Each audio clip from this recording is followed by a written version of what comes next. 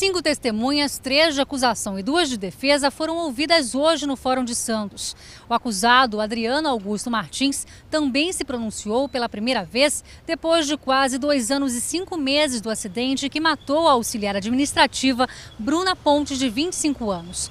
Os advogados de defesa sustentam a versão de que Adriano sofreu mal súbito antes de colidir com a motocicleta parada no semáforo, de onde Bruna foi arremessada, e que ele deve ser julgado por negligência ou imprudência e não tentativa de homicídio. Iremos nos manifestar na tese que desde o início foi posta da não conciliação entre homicídio doloso, que o Ministério Público diz nosso constituinte ter vontade de ter praticado o ato, com a hipótese do chamado homicídio culposo, que não houve intenção.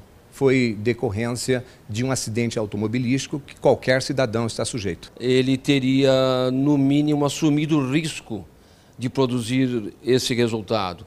Por quê? Porque dirigia embriagado, porque imprimia velocidade excessiva e porque o local onde aconteceram os fatos, vocês sabem muito bem, é uma reta e à frente estava um sinal vermelho.